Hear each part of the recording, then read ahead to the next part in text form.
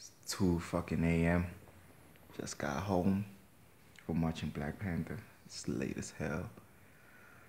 Ah, I'm not gonna spoil anything, but oh, what a great movie. I'm still like mind boggling because there were some flaws, but there was some great things about it. You know what I'm saying? Like the story was great, but it also had moments where I'm like, like nitpicky things. Like I'm a South African, so I'm from a Xhosa family, and they butchered Xhosa a little bit. You know, just being nitpicky, but a fantastic movie. Killmonger, that dude stands out. Like he made an impression.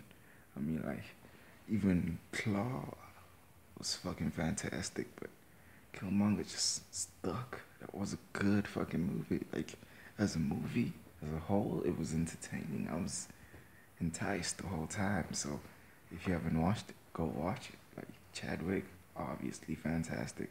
The whole cast was phenomenal, despite butchering one of my home languages. But it's cool. You know what I'm saying? They could do whatever they want when they deliver something that fantastic. Oh shit.